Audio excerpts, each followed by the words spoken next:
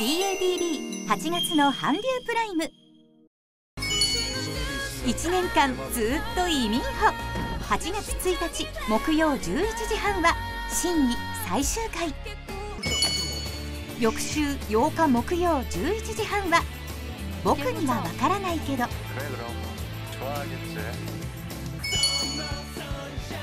そして15日からは「走れサバ」がスタート。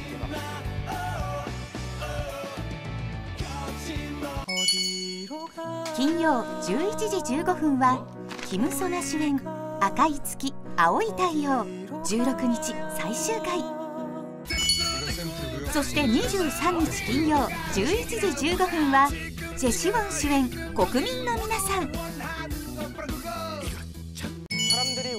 3日土曜11時15分はエクソのシウミン主演「恋はチャレンジドジョンに惚れる」そして10日からはエクソのドギョンスが特別出演の「ウンジュの部屋」がスタート。日曜11時15分はチュジフン主演最新作「アイテム」木曜から日曜の夜11時15分は韓国ドラマを絶賛放送中。